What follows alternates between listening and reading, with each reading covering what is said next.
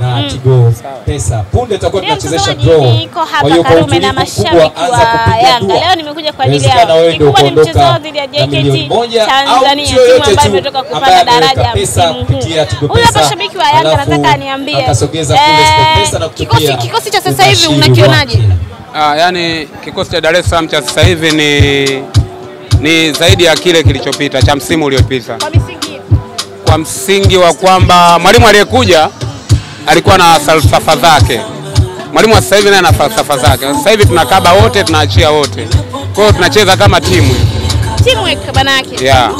Kwa hiyo kuna utofauti kidogo. Zamani tulikuwa tunategemea mtu mmoja, lakini sasa hivi magoli yanatoka kona zote. Nadhani hata wewe mwenyewe umeona Dickson Job mwenyewe kafunga, kwa maana hii ni ishara nzuri kwa timu.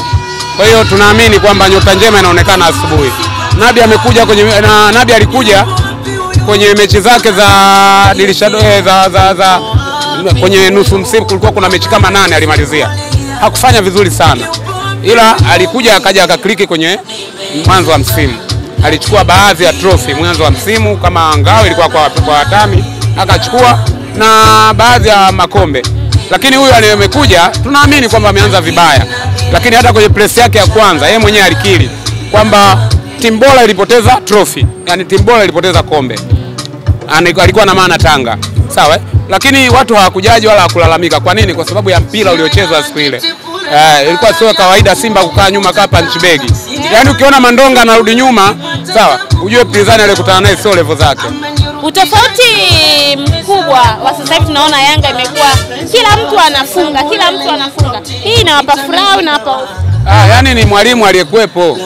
yani yule mwalimu anakuambia kwanza, tukiwa kwenye mechi timu kwanza, wewe baadaye. Kwa hiyo hata Pakome anakuaga anafanya mambo mengi, lakini anaangalia nani yuko kwenye njia kwa wakati. Unaona? Uh, Max Nzengeli anatengenezea watu, ila wakati mwingine naye anafunga kama anaona nafasi ya wazi. Kwa hiyo tunaamini kwamba ni, ni timu nzuri. Tunakokwenda kunaonekana kwamba mnaenda sehemu ya design gani na timu yenu ya design gani. Kwa hiyo mimi naamini binafsi na shabiki wa Dar es Salaam Young Africans waliokuwa hapa Karume, sote tunaamini kwamba Yanga ya sasa ni tofauti na ile iliyopita. Mpaka sasa hivi nimetoka kuongea na mtani wangu hapo, anasema ile tukikutana na nyinyi hatutakii tuweke mpira chini, natakiwa tupige kama kama mistimu. Mtani mwenyewe anakiri anasema natakiwa tupige tupige juu, yani ndio kidogo tunaweza tukapata at least goli moja. Kwa hiyo watani wanajua kwamba hii balaa, weka mbali na watoto. Unamtamani mtani? Ah, mtani kwa sasa hivi nitamdhalilisha. Haki ya Mungu nakwambia. Hata pale angalia, pale amekwenda kupiga matuta, pale gari ilirudi kwa sisi tuliozoea tunaijua Tanga. Ameanzia barabara kumi na mbili gari yake mpaka kule Mnyanjani, Gari inarudi nyume. Eh, sasa kama angeenda kwa mbele ingekuwa. Pale ndio mganga akamnusuru kapiga matuta. Maanisha nini? Namaanisha wana vitu vingi ambavyo vinawasaidia mbaya kupata hiyo suluhu. Na wao wako hapa kushuhudia mambo jinsi yanavyo. kwa sasa hivi tukisema tunawahitaji watani, tutakuwa tunaenda kuwadhalilisha. Kwa hiyo sio sehemu ya kudhalilishana sasa hivi.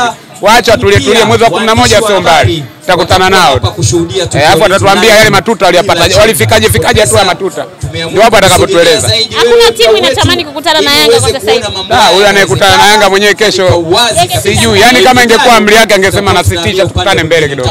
Eh, lakini kwa sababu ni shirikisho ndio limepanga, basi hamna bi- hamna jinsi, Mechi mbili magoli kumi. sio kumi, magoli kumi na mbili. Hatari. Yaani tumepiga mechi tatu Eh. magoli kumi na mbili. Haijawahi kutokea, eh, na ukinitajia hata Ulaya timu ambayo imecheza mechi tatu goli kumi na mbili mimi nakupa buku. Eh, Eh, au nikupe kabisa ushike. haya. Aya, hili balaa. Yaani nakwambia hivi, mechi tatu goli kumi na mbili. Sasa kuna mtu anasema kwamba mmekutana na na eh, mmekanyaga kanyaga nyanya. Eh, eh, mmekanyaga nyanya. Sasa tunamwambia jiandae, njoo wewe mbele hapa, Hili ni treni limekatika breki, alizuii na nyumba wala daladala, inabomoa inapenya tu. Kwa hiyo tunaamini kwamba timu ni nzuri. Ah, tusiwaambie watu kwa maneno, ila tusubirie kesho, sio mbali. Mungu akipenda, kama atatuweka hai, tutakwenda wenyewe kuona. Ni pale pale Chamazi. Alafu sisi mechi zetu sio bure eh, mechi zetu sio sio free. Ah, yani watu wanaweka bure, lakini ndio vile tena maafa yanakuja nyumbani. Sasa hii ni fedhea, Unamaanisha nini? Si hawa watu wadogo eh, yaani kina yani Kibangala kina Faisal. Sasa wewe huwezi kupiga penati wewe kwa maslahi ya timu yako, au unatutuliza sisi. Hii ina maana gani? Wewe mtu mdogo, si utufunge mdomo wewe. Angalia sasa.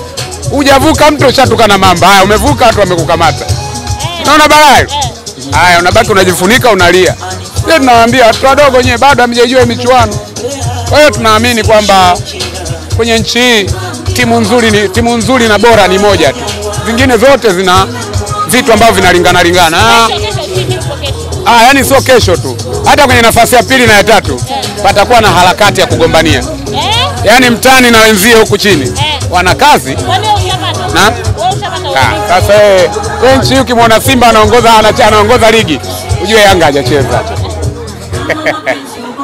Haya bwana, mimi mtazamaji, Furaha Mimosa, hapa ilikuwa ni Karume, kijiwe cha kahawa. Asante, tukutane tena siku nyingine. Hawa walikuwa ni wa Yanga. Kesho ni mchezo kati ya Yanga dhidi ya JKT Tanzania. Nitakuwa pale Chamani. Tukutane tena wakati mwingine. Chao.